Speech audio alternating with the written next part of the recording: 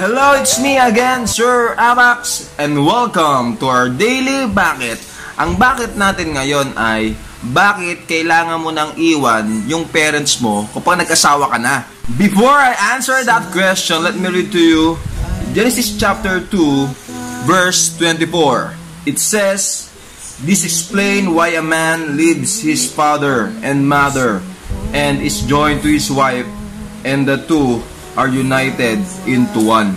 Bakit nga ba kailangan mo nang iwan yung parents mo kapag nag-asawa ka na? Kasi gusto ni God na i-priority mo ang relasyon mo sa asawa mo. Dapat mong malaman na ang pinakamahalagang relasyon sa lahat ay ang relasyon mo sa asawa mo.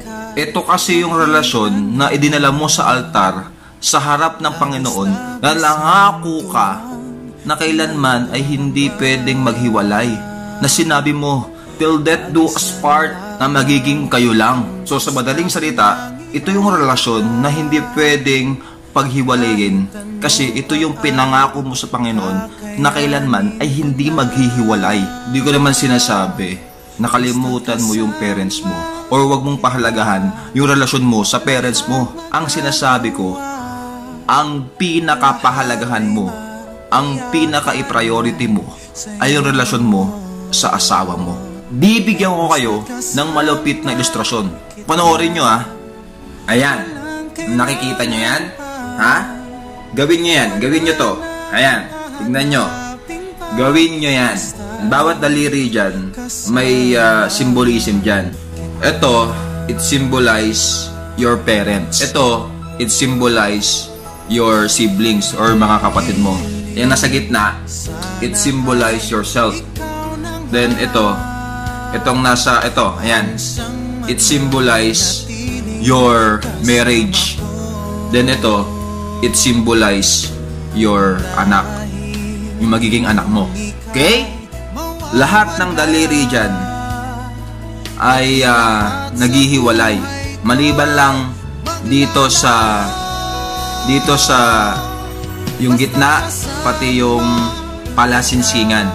Hindi yan naghihiwalay. Itong hinlalaki naghihiwala yan. Oh. Itong uh, hintuturo naghihiwala yan. Hindi, itong hinliliit na, naghihiwala yan. So bakit naghihiwalay? Kasi kasi nga iiwan mo din yung parents mo balang araw. Iiwan mo din yung kapatid mo balang araw. Iiwan ka din ng mga anak mo balang araw. So mananatili lang na relasyon, of course, yung relasyon mo sa sarili mo, kaya hindi pwedeng tanggalin yan eh. At yung relasyon mo sa asawa mo, na kailanman hindi pwedeng maghiwalay.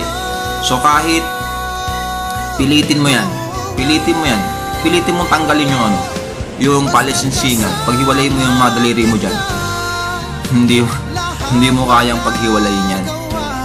Kasi nga, sabi ni God, ang pinag-isa ng Diyos, hindi mo pwedeng paghiwalayin. So that's our daily bucket for today. Thank you for the likes and thank you for the share. Bye-bye!